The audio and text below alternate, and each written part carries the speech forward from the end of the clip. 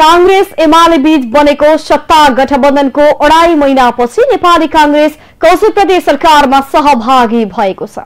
आज कौशिक प्रदेशका मुख्यमन्त्री हिक्मत कुमार कार्कीले काङ्ग्रेसका तर्फबाट तीन मन्त्री र एकजना राज्य मन्त्री नियुक्त गर्नु भएको हो। यद्यपि अझै एक मन्त्रालय भने खाली राखिएको छ। नवनियुक्त मन्त्रीहरूमा भूपेन्द्र राई भौतिक पूर्वाधार विकास मन्त्रालय खगेन सिंह हंगाम उद्योग कृषि तथा सहकारी मन्त्रालय सदानन्द मण्डल पर्यटन वन तथा वातावरण मन्त्रालय र भूमि प्रसाद राजवंशी भौतिक पूर्वाधार विकास मन्त्रालयको राज्य मन्त्रीमा नियुक्त हुनु भएको हो। उहाँहरूलाई प्रदेश प्रमुख परशुराम खापुङले आजै बिहान पद तथा गोपनीयताको शपथ खुवाउनु भएको छ। मन्त्रीमण्डलमा काङ्ग्रेसबाट चारजना थप भएसँगै कोशी प्रदेशको मन्त्रीमण्डलको संख्या दस पुगेको छ। काङ्ग्रेसबाट नियुक्त भएका मन्त्रीहरू मध्ये राई र राजवंशी नेता कृष्ण सिटौला समूहबाट र हंगाम र मण्डल संस्थापन समूहबाट छानिएका हुन्।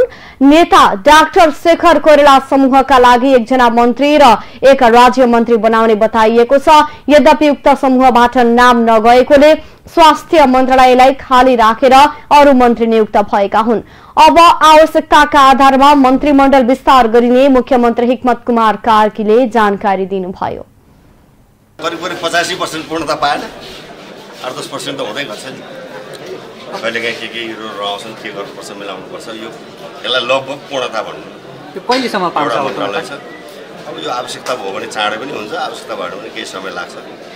यसलाई लगभग पूर्णता मान्नु न अब।